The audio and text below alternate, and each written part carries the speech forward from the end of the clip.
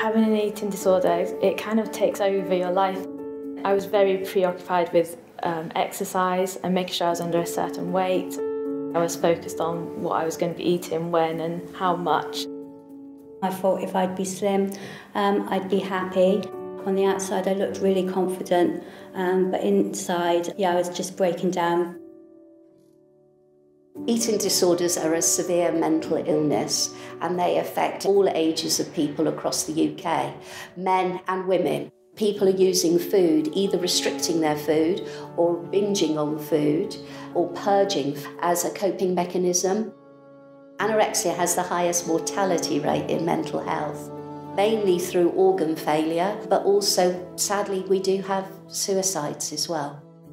There's about 1.25 million people with a diagnosed eating disorder in the UK, and 25% of those people are thought to be men.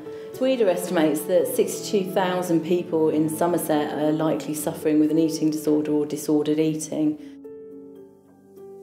Somerset and Wessex Eating Disorders Association, also known as SWEDA, is the only charity within Somerset that helps people with eating disorders, and we offer a wide range of services.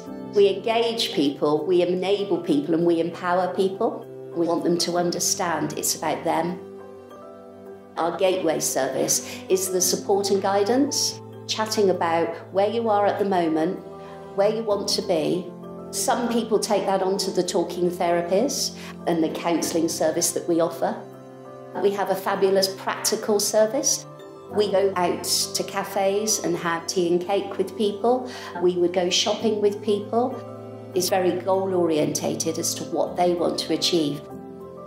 Our connections with schools and colleges are really important for young people in Somerset we can get the message across that there is a place for people to come if they've got a problem. Sweden will come in as part of our sort of freshers fair. There'll be a presence just as a space to, for students to come and talk. Um, you know, they'll be there with their banners and it just gets them sort of known um, as, as a presence right from the very start of the college year. The work they do is invaluable because they are in the community where people are living. We have step up and step down from SWEDA, so we've created an entire pathway. So rather than someone only getting support at the worst part of their illness, they can do some work before they get to that point. This is not something that a lot of other eating disorder NHS services have access to. We're so privileged in Somerset to have this joint partnership working with SWEDA. Lockdown was particularly difficult for people with eating disorders and we were in great demand.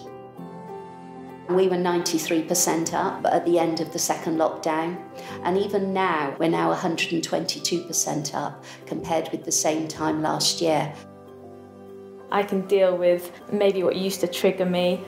I don't need to act on it. I don't need to use food to cope with other issues that are going on in my life listening to other people that said they've recovered and I really never thought it would be me. It is me, so I would say, yeah, never, never give up hope.